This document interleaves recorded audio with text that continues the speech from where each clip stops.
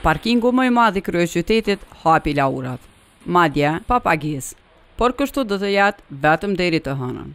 Për kapacitetet foli të premten drejtori i parkingut Korab Fazliu. Parkingu i përfshin pesëqind e tridhjetë vendparkingje, prej të cilave ka edhe parkingje të cilat ofrojnë mundësinë e mbushësave elektrikë për kerret elektrike, gjithashtu parkingje për persona me aftësi të kufizuara. Ai foli edhe për pjesën lart të këtij vendparkimi. Pjesa e gjelbërimit të lartë është përafërsisht dhjetë mijë metra katrorë, janë mbjellur më shumë se pesë mijë trupa të gjelbërt dhe gjithashtu është shëtitore e cila është mirë e organizuar.